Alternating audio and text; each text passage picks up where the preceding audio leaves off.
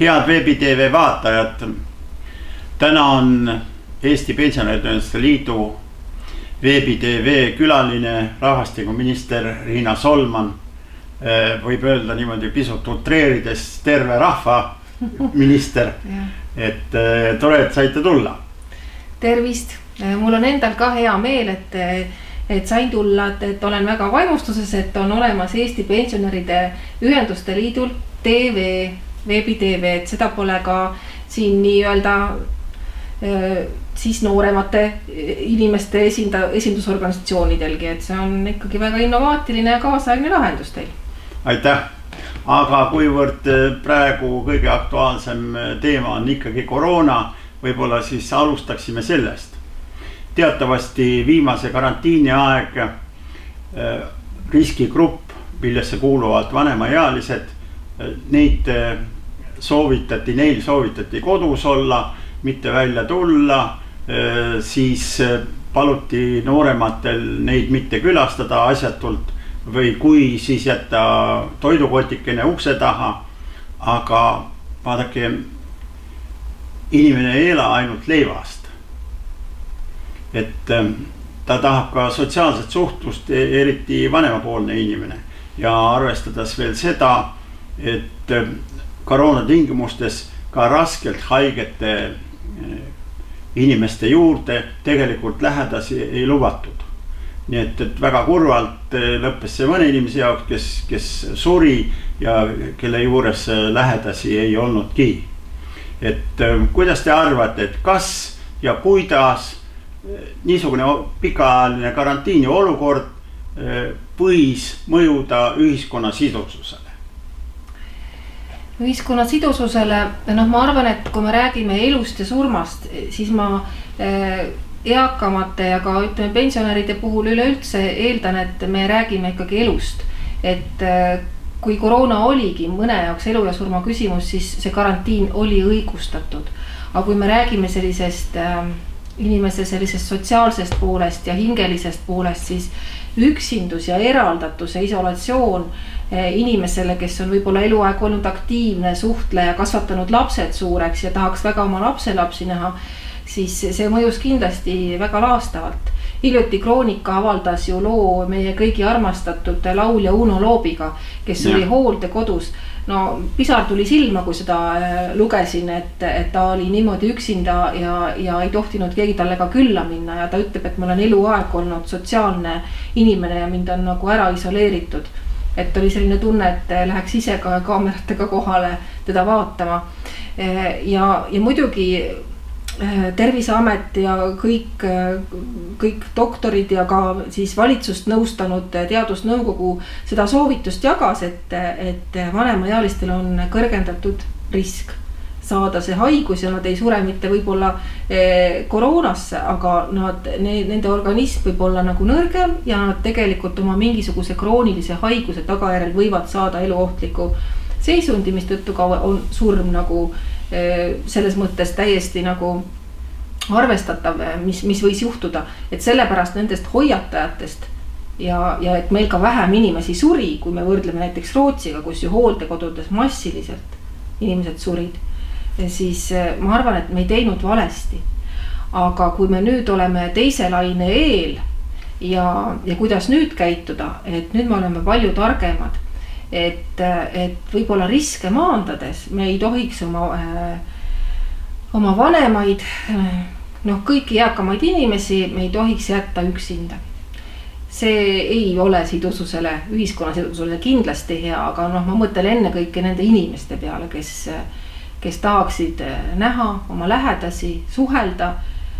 Ja see oli ainuke võimalus oli telefoni teel ja kui me räägime hooldekodust, siis seal oli ju niimoodi, et inimesed olid täiesti ilma jäetud inimlikest kontaktidest.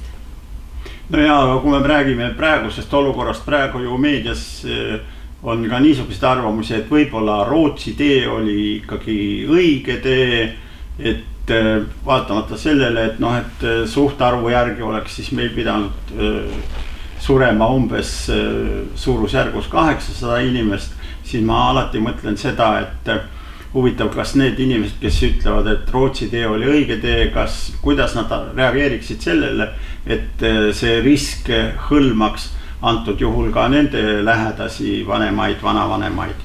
et mis võiks olla niisugune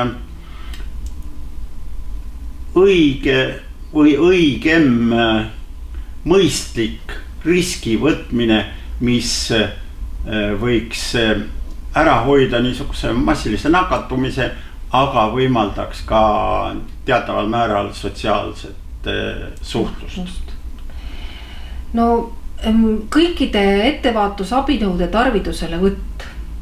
et äh, hooldekodudes ka praegu ju tegelikult on ju soovituslik maski kandmine, ei ole küll kohustuslikuks tehtud, aga tegelikult me võiksime Äh, rahva rohkemates kohtades lihtsalt käia maskid ees ja kogu aeg siis käsi pesta, tarvitada desovahendeid.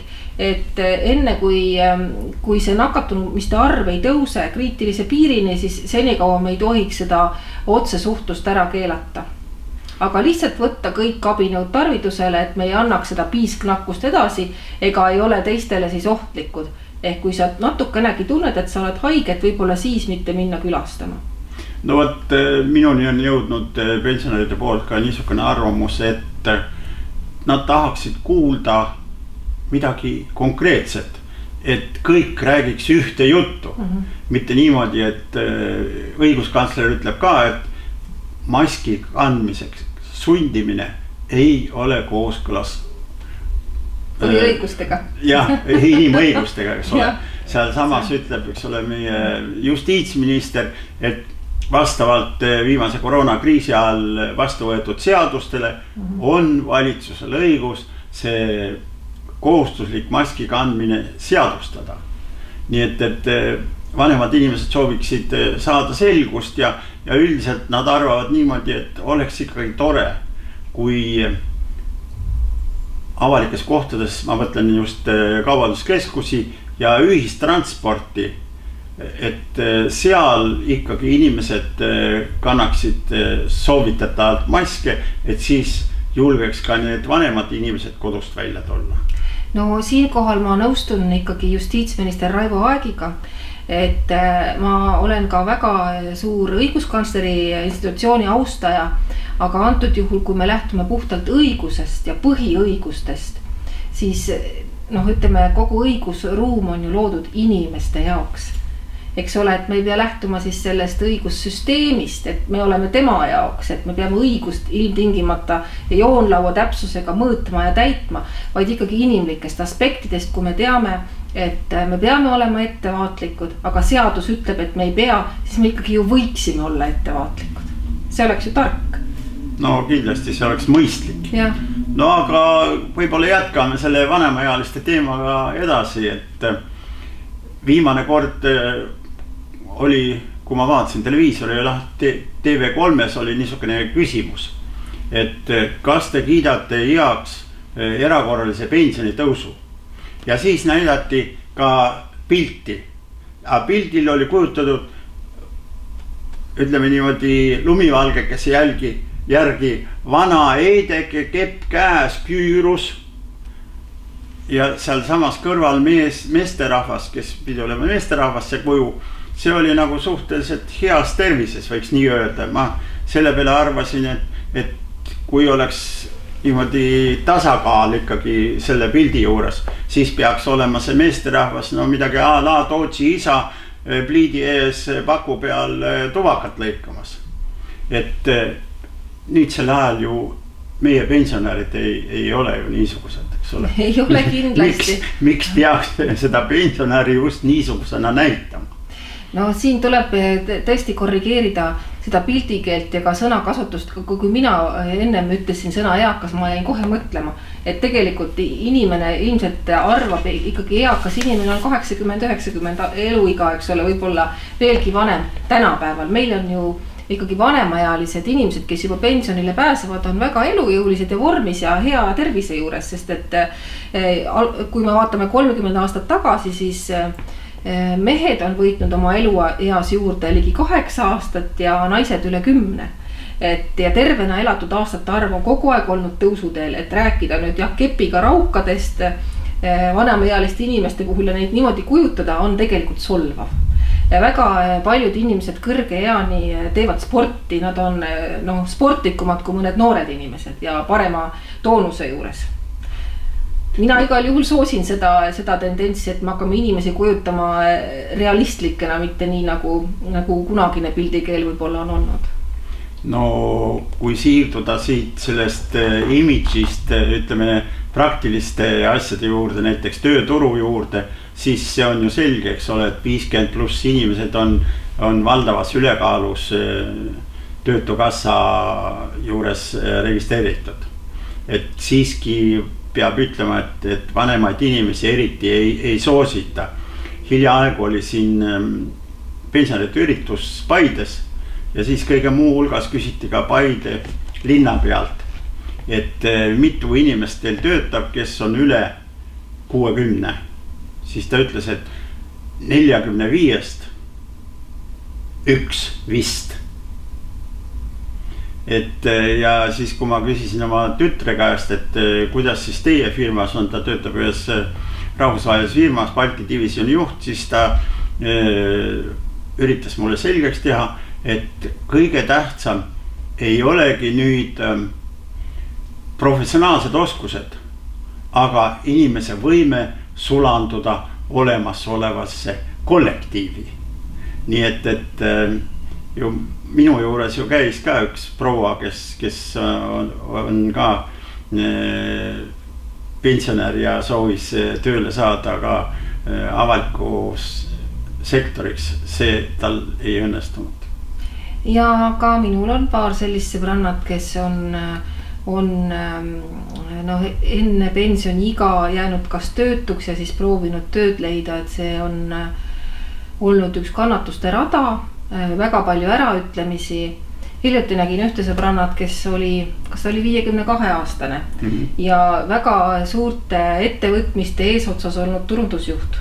ja ta ütlebki, et, et näed, et ei julge enam äh, ametit vahetada, kuigi tunneb, et juba hakkab tal lagi ette tulema seal, kus ta praegu on, sest et, et ta on kursis sellega, et ta enam vanuse poolest ei sobi. Mhm. viiekümne kahe aastane ja, ja ma ise olen nelikümmend kaheksa, mis tähendab, et mõne aasta pärast on mul seesama saatus, siis tähendab, on ees et vaatame, kuidas läheb aga ütleme niimoodi, et, et see tendents on kurvastav. oli üks riigiasutuse juht, ei hakka nimesid ütlema, RKS-ist oli tema, kes ütles, et tema ei võta tööle isegi üle neljakümne viie aastast koristajat ja see oli nagu häbematuse tipp, kuna ta oli ise just parasjagu neljakümne viie aastane mm. -hmm. et võib-olla ta oleks pidanud ameti maha panema seepeale. et, et see, selles mõttes see on diskrimineerimine, puhas diskrimineerimine. ja, ja tõepoolest vanus ei mängi eh, siin ju rolli, kogemus on tähtis. et kõige õigem on minu arvates organisatsioonis läbilõige ühiskonnast ehk ka siis vanuseline läbilõige ja, ja, ja minul näiteks konkreetselt ministrina, rahvastikuministrina on, ma pakun äh, kaks nõunikku, kes peaksid olema kuuskümmend või rohkem. keeleteadlane Mart Rannut ja, ja siis on ka kommunikatsiooninõunik Ivan Makarov, kui ma neile nüüd liiga ei tee. Nad äh, sinna kanti nagu paistavad pärast kontrollime järgi, jube piinlik lugu, kui nüüd on nagu valesti midagi öeldud. ei, ega see tegelikult midagi ei tee. jah, aga ütleme, et, et, et, et noh, elukogemuse vastu ikka ei saa. et, et see on selge, et, et ideid ja, ja sellist visiooni saad sa alles siis pakkuda, kui sul on kui sul on elukogemust, sul on nagu maailma nägemust, maailma tunnetust, et noh, noor inimene võib seda ka teha, aga siis ta tavaliselt peaks olema geenius. ahah pean seda silmas siis mm. -hmm. no teine koht või õigemini kolmas koht, kus, kus nende vanainimestega ei, ei taheta eriti tegemist teha, on pank. et eh, praktiliselt on võetud seisukoht niimoodi, et eh, kui eh, laenu maksmine ei toimu enne seitsmekümne viiendat eluaastat, siis laenu ei saa, vaatamata sellele, et on olemas tagatis ma tahaks öelda, et eh, tegelikult see on ka diskrimineerimine, et seot-, seostada seda eh, sünniaastaga ei, või, või vanusega ei ole ikkagi õige, ükskõik mis põhjused siin võib ka välja tuua. aga, aga seda ei tohiks ikkagi olla, et isegi need, mis need on, need kus laenatakse telefoniga. SMS laenukontorid. SMS laenukontorid, isegi Ema seal pidi olema niimoodi, et kui on teatavas, seal tuleb täita siis midagi andmeid ja kui oled juba teatavas vanuses, kirjutad sinna oma sünniaasta, siis eh, süsteem viskab sind kohe sealt välja. seda ma ei teadnud, ma arvasin, et need SMS laenud. ei, ei, ei mm, -hmm. Seal ka, sealt ka ei saa, aga tegelikult mul oli siin üks konkreetne juhtum oli inimene tahtis osta mingisugust eriti kallist eh, seda ähm, külmutuskappi. ja, ja tal oli maja. ja ta pakkus seda maja tagatiseks, aga see ikkagi ei lugenud noh, see on päris hämmingut tekitav, maja peaks ikka olema kordi kallim, kui üks külmutuskapp no, ilmselt, ilmselt leidis see, see pank, et milleks mulle see, milleks mulle see maja, et hakka selle müümisega veel vaeva nägema, eks ole. parem mitte, et noh, mis seal siis ikka jääb üks inimene, ühe inimese intress saamata ja no mis siis no mis siis ikka? no, no eks see kummaline ole, eks see siinjuures tegelikult eh, diskrimineeritakse nii vanemaid inimesi kui ka noori inimesi sest ega ka päris noored inimesed ei saa äh, laenu pankadelt, et kui nendel ei ole ette näidata äh, konkreetset töökohta, võib-olla isegi sissetulek. mul on näiteks üks tuttav pere, kus noormehe isa suri noorelt, aga pärandas talle siis oma sellise mingisuguse kindlustusosaku, mis siis tootis noormehele sellist igapäevast elatist ja, ja ta läheb panka, et liisida omale auto aga vot liisingut ei anta, sellepärast et ei ole töökohta ette näidata mm -hmm. ja see tagatis, mis oli piisavalt suur ja niimoodi ka ise teenindas ennast, see ei sobinud. et on kindlad reeglid on paika pandud, et mis hetkest siis hakatakse justkui inimesi usaldama ja, ja on mitu näidet ka noortest peredest, kes soovivad, eks ole, kodulaenu võtta kasvõi turutõrke piirkonnas et selliseid diskrimineerimisi vanemaealistele noortele on, on pankade poolt ja krediidiasut-, krediidiasutuste poolt küllaga. see SMS laenukontor nagu see on täitsa, tekitab minus hämmingut, aga ma muidugi ütlen, et, et ärge SMS laenu peale küll lootke, see ei ole õige, õige, õige ja sile tee, et, et, et võib-olla saab ilma selleta, selleta ehk õnnestub siin midagi avaliku diskussiooni kaudu või, või ütleme, kui taas natukene stabiilsemad päevad tulevad, et hetkel on tõepoolest olukord rahaturgudel kui igal pool nii, nii stressirohke. et pangad on, on, on oma tingimused nii karmiks kruvinud. Mina loodaks siin ka ikkagi äh, inimliku kohtlemise peale ja õiglase kohtlemise peale. noh, pangad on eraettevõtted, eks neid niimoodi sundida ei saa. aga palju asju saab tegelikult ühiskondliku debati ja sellise ühiskondlike hoiakute muutuse käigus ära teha nojah, aga me ei räägiks rahvastikuministriga, kui me ei puudutaks migratsiooni. et äh, minu andmetel või nii palju, kui ma kuulnud olen, eks ole, et meie tuleb ähm, aastas umbes viis ja pool tuhat äh, inimest äh, väljaspoolt Euroopa Liitu, kolmandatest riikidest. see tähendab seda, et praktiliselt tuleb iga aasta tuleb juurde üks vald või kahe aastaga Rakvere või palju umbes midagi nii. absoluutselt, nii jah. et, et mis siis nüüd ikkagi edasi saab meil ja nüüd tähendab veel liites siia Valgevene juurde praeguse olukorra. räägitakse juba siin meie ajakirjanduses ka, et võib-olla peaks ikka Valgevenest võtma omale töötajaid, eks ole meelitama siia ettevõtteid koos töötajatega. et mis, mis siis nagu ikkagi perspektiivis siis saab? mis puudutab migratsiooni, siis rahvastikuminister vaatab äh, tõepoolest ka rahvastiku paiknemist ja koosseisu. ja kui me räägime paiknemisest, siis meil on Tallinn ja Ida-Virumaa äh,, Ida-Virumaa suures osas, aga Tallinn poolenisti venekeelne et see tähendab seda, et äh, inimestel, kes tuleksid siia elama nendesse kogukondadesse, ei ole tarvis eesti keelt ära õppida, nad saavad ilma selleta hakkama. ja täna siis ka minu haldusalas on uussisserändajad, kelle eest ma vastutan, kelle kohanemise eest ma vastutan. ja ma pean ütlema, et kuigi see toimub, äh, see kohanemisprogrammide rahastamine suures osas siis Euroopa Liidu rahade eest, siis see ei ole piisav see A1 taseme keeleõpe, mida me anname uussisserändajatele ja siis ka selline kohanemiskursus, kus me õpetame neid meie, meie kultuuri, kombeid ja tavasid tundma et see pooleaastane kursus kindlasti eh, neid ühiskonda ei lõimi ega keelt selgeks ei õpeta. et kui meie tahame siia uusimmigrante tuua, uussisserändajaid, siis me peaksime ka oluliselt eh, rohkem ressurssi panema keeleõppesse ja, ja lõimimisprogrammidesse. me oleme ajaloos näinud, et seda me teha ei ole osanud ega suutnud kolmekümne aasta jooksul, kolmekümne viimase aasta jooksul, kui Eesti eh, on iseseisvuse taastanud et selles mõttes ma oleksin ettevaatlik. meil on tõepoolest kolme viimase aastaga Rakvere linnajagu uussisserändajaid tulnud Eestisse, nii et rääkida sellest, justkui Eesti riik oleks suletud. see ei ole kindlasti õige.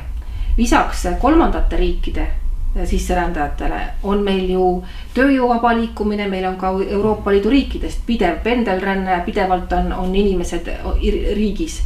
et, et, et me oleme täiesti avatud rändele. eriti avatud oleme me olnud õpirändele.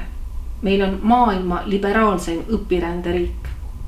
Ja nüüd, kui siis tõepoolest on valitsuses on üks jõud soovinud teatavaid muudatusi selles, siis on jah, tekkinud no justkui nagu appikarjed, et oi, et Eestit tahetakse sulgeda. ja, ja mis kõik tehakse, see kindlasti tõele ei vasta.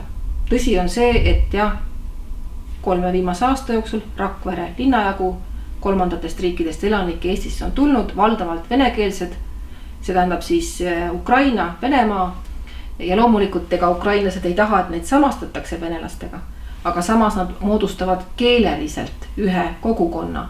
ja, ja kui me nüüd vaatame rahvastiku paiknemist koostise kõrval, siis kui nad paiknevad ikkagi kogukonnas koos kusagil nagu Ida-Virumaal või Tallinnas või veel kohtades, kus äh, rohkem on vene keelt kõnelevad, siis neil tarvidust eesti keelt ära õppida ei ole. ja loomulikult nad tarbivad ka siis eh, venekeelseid infokanaleid ja nagu me teame, eh, siis suurem osa vene, venekeelsest elanikkonnast on ikkagi eh, meie naaberriigi Venemaa inforuumis. kus neile siis kõikide uudiste ja meelelahutusprogrammide vahele ka vastavat propagandat edastatakse. Nad kindlasti ei ole ebalojaalsed riigile, seda ma ei arva, aga inforuum mõjutab neid hoopis muu informatsiooniga, kui Eesti Vabariik seda suudab. ma oleksin väga ettevaatlik, eh, kui me räägime massilisest eh, sisserändest. No nii, tundub, et eh, valitsusel ei ole lihtne. me soovime omalt poolt valitsusele tublit ja, ja tervet probleemidesse suhtumist ja loodame, et eh, see praegune pingeline olukord on mööduv ja kindlasti palju edu eelarve ettevalmistamisel. Aitäh ja eelarvest võib-olla siis juba uues saates saate, saate uusi uudiseid anda, et loodetavasti on seal ka häid uudiseid ja ma soovin ka Eesti Pensionäride Ühenduste Liidule edu nendes ettevõtmistes, mis te teete ja kindlasti nendest algatustest, mis sai täna räägitud, et kuidas kohelda vanemaealisi väärikalt ja neid äh, mitte solvavalt, et sellesse soovin ka ise oma panuse anda. suur aitäh teile, kohtumiseni. kohtumiseni